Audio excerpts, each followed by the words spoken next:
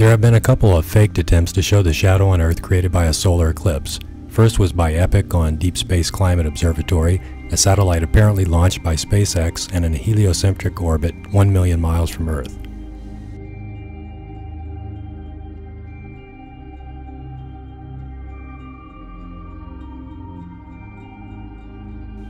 Let's look at this image a little closer. It looks exactly like the image textures NASA provides on their site. The shadow is conveniently over in the middle of nowhere, and why don't they show the stars?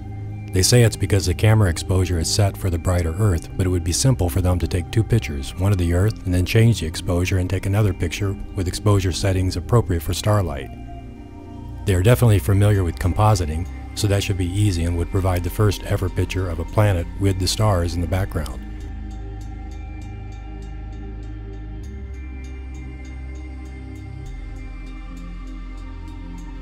Here is a 2006 total solar eclipse over Turkey and Cyprus. NASA claims this was taken from the ISS about 240 miles above the surface. Looks to me like around 80,000 feet, with a model overlay. There are some planes that can fly at these altitudes. For example, NASA and the Air Force are the only two users of the SR-71, a plane with an altitude record of 85,000 feet. Now why would NASA need one of those? Here is what it would look like from 29,000 miles with an 80mm lens. The yellow line connects the sun to the position on Earth where the sun would be seen directly overhead.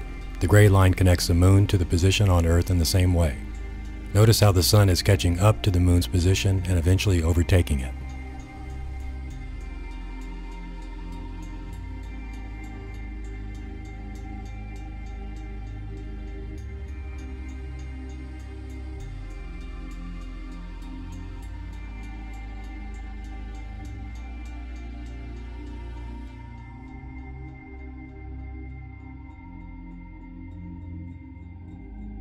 After releasing this first clip, I got a few comments about the Earth not appearing to be spinning. This is because the camera is connected to the Earth, so it is spinning with it like holding a selfie stick and turning around. The only visual indication that shows the Earth is spinning is the background stars. From a ground perspective, the Sun takes 24 hours to go around the Earth because of the Earth's counterclockwise spin, when viewed from the top. The Moon appears to take on average 50 minutes longer than the Sun to make that same revolution around the Earth. This is why the sun is always catching up and then passing the moon on a new moon and solar eclipses. This can easily be verified by viewing the moon two consecutive nights and noting the time difference. To show the Earth spin, I've attached a camera to an imaginary line between the Earth and Sun.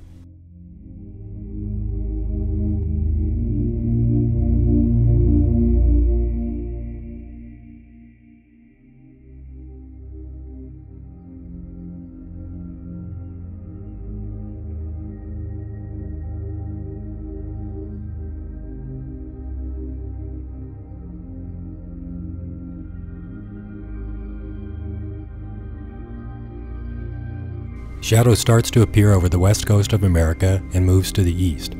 I will slow this clip down and play it again and also zoom in on the Earth so you can see the shadow better.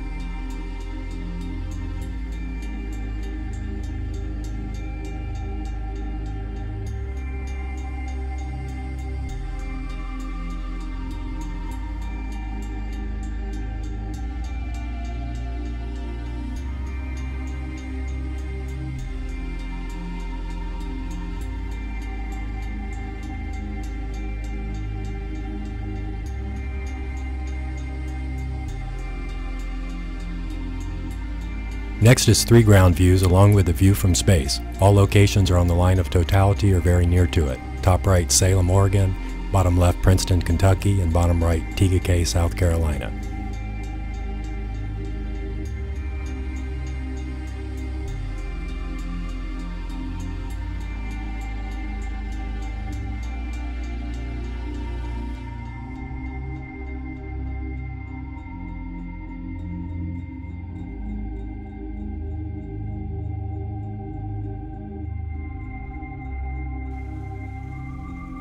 To show the Earth's spin, here is what it looks like with the camera fixed in space.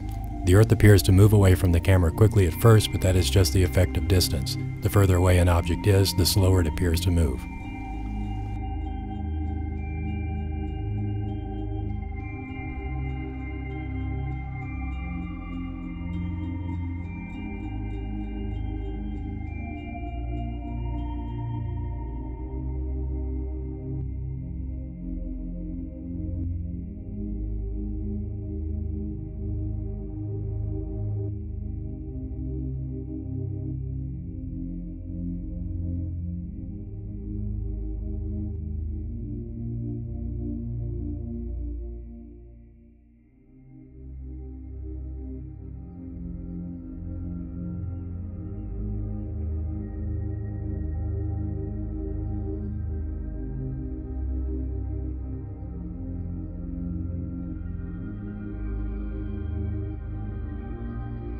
The solar eclipse works in a very similar way on a flat stationary Earth.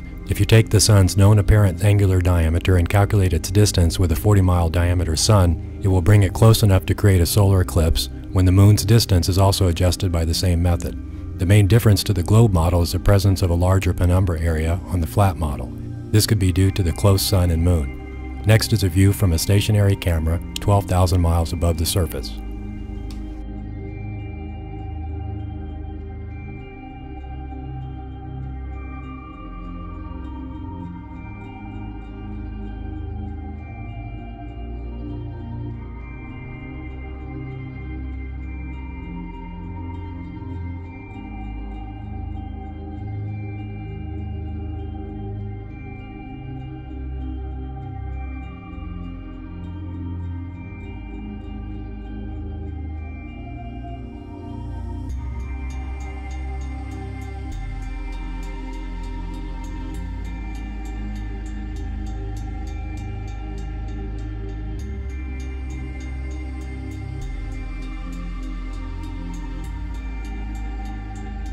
The path of totality is a little south compared to the globe model.